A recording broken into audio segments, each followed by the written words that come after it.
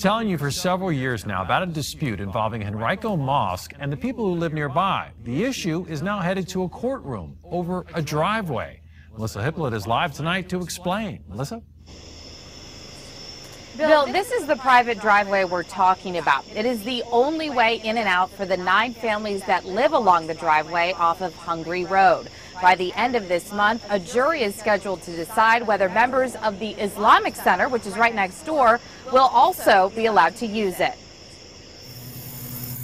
Since the 1800s, Sylvia Wright's family has owned land here in Henrico County's West End. One of my grandfathers founded the initial farm in 1838. But Wright says the tranquility of that land is being disrupted by a man who she says is bullying her through a lawsuit.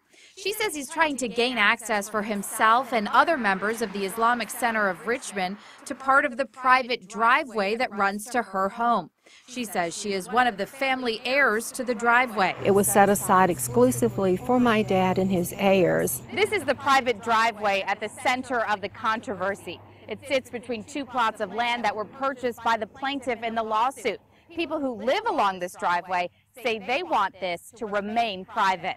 We have literally never been offered restitution, compensation, nothing for our rights. They are just supposed to be taken from us. But Yunus Vora, who filed the civil lawsuit, says he owns that part of the driveway, so he and others who attend the Islamic Center can use it. He declined to do an interview on camera, but did say he filed the suit to claim the property and stop Wright from harassing him and other Muslims.